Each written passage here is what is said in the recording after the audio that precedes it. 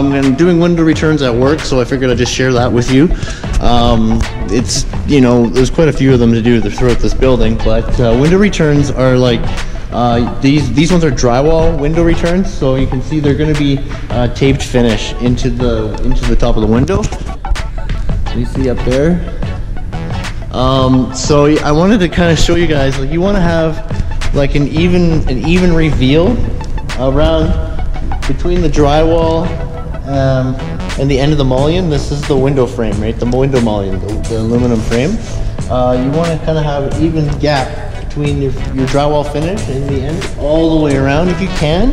Um, but you're not always going to win. Tools you're going to need for the job is a cordless router, your drywall gun with your, since it's going into plywood, inch and a quarter regular screws, tape measure, just, you know, your 25 inch from regular tape, and your knife, 100% you're gonna need a rasp for this, for the edges, okay?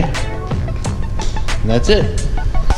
So the objective is to get the corner bead and the tearaway onto the return properly, okay?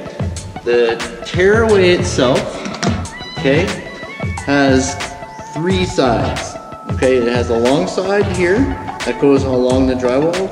This, this longer edge goes inside of the drywall itself.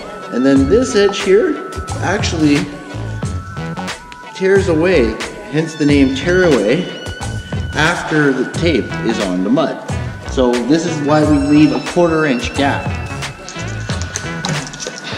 So it can go in tight, right? And then the taper muds it.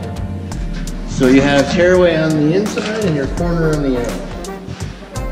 See, that's how that finishes. okay, so the tearaway finishes into the mullion like that.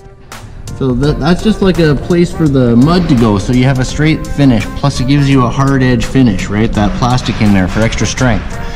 And same with the corner bead, right? That's why we take our corners back as well, okay? I like to be quarter inch, quarter inch myself um, all the way on my corners and a quarter inch on the mullion for the tearaway. Okay, 3 eighths is acceptable, half inch is too much. Okay, so you're getting a half inch 5 eighths is too much. The corner bead has the aluminum on the inside for a nice hard corner and it's got the paper uh, on the ends.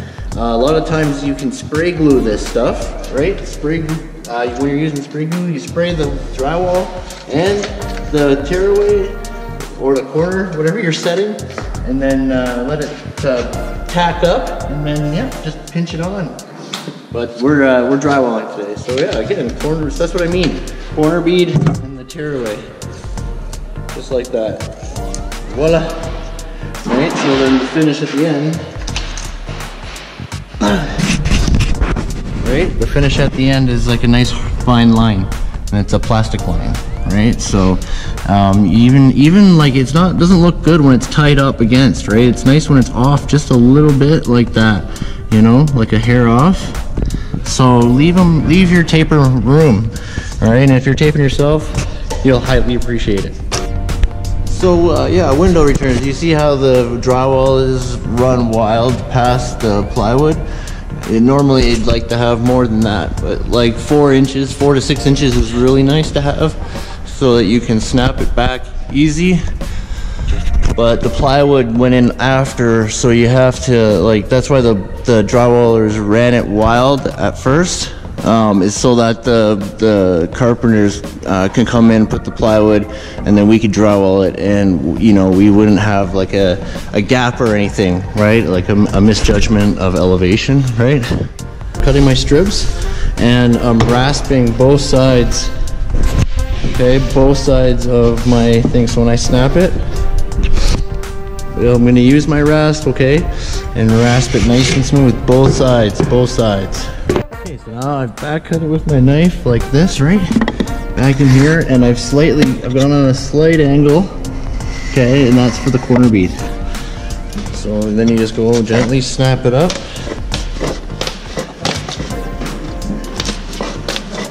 Right it comes up and then you just cut it off.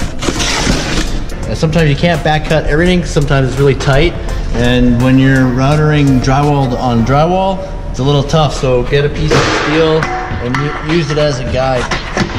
So you see that there? You, you simply just simple as that. Use your get something of steel and use it as a guide for your router your router bit. And you're good to go. Okay, so a couple last minute things just so before you you know you go.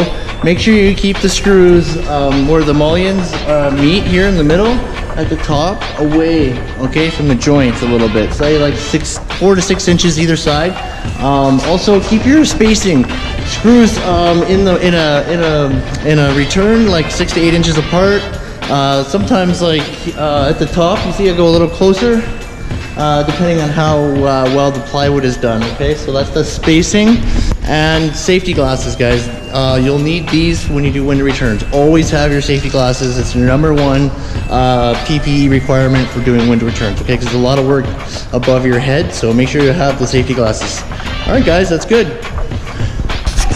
Okay, that's how you drywall window returns properly. I hope you guys learned something. If you're new to Chris Konkle Vlogs, make sure you subscribe right down below. YouTube thinks you might like this video right there, so give it a watch. I put another playlist down there below for you guys. Join me every Sunday when I go live, okay? So make sure you subscribe and hit that bell notification so you don't miss when I go live every single Sunday morning. This is Chris, everyone. Bye for now.